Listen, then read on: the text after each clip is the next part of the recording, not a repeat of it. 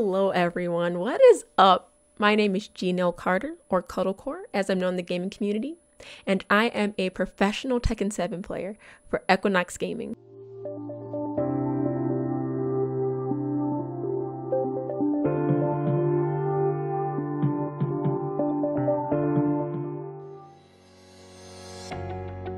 I'd been gaming my whole life. I uh, since I was a child. I love competing, I love fighting games, and I love being the best at anything that I do. So naturally, I found that there were a lot of avenues you could take when it came to being in esports, along with being a pro player. So I took that on as a profession because it's something that I love. I eat, sleep, and drink it.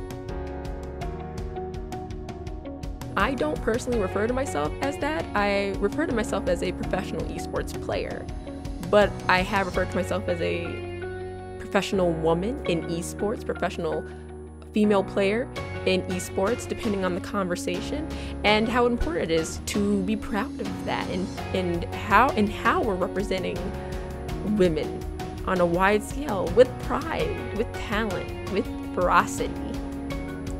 So I do refer to myself as a professional esports player who is a woman but not a girl because I'm an adult. But the term girl gamer, there's a lot of empowerment when women use it to take back the negative stigma that's connected to it based on um, some of the assumptions made by our own communities. I was currently featured on a Twitch billboard in Times Square to represent one of the black leaders in gaming and I saw myself and it was it was beautiful. I'm representing esports, I'm representing black women, I'm representing professional players in fighting games. And there's so much pride and joy to be had in representing a community that I've been a part of for such a long time.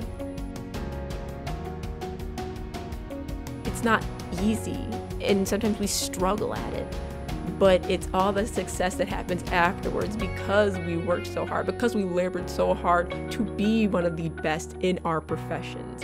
And that's what achieving means. It means succeeding in the face in the faces of adversity of every different kind. Some of the difficulties I've definitely noticed with being a professional esports player and being a woman is definitely there's always this comment about your appearance. People expect women to look a certain way, especially in this community. Definitely questioning of my credibility and of your credibility in general. When you compete, they question your skill. And those are definitely two big things that I, I noticed people question and judge about women when they begin to compete on different levels in their respective games Well, I don't actually have a specific one, but I have a soundtrack, a list. It's Tekken, it's Tekken music, throwback Tekken music that gets me pumped when I play. I am a huge fan of it. I've actually never worn glasses like these, especially with very round frames. They're thinner, but they complement my facial structure. So when I do have to wear like, team apparel and things like that, I have amazing glasses from Lensmart to complement my team merch.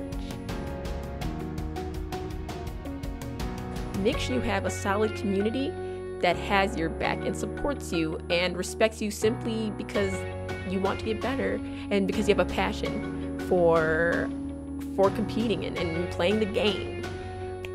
And making sure you have training partners or training partner that wants to be just as good as you or even better, and that you all are always uplifting each other, supporting each other, helping each other out. These are really important bonds to have.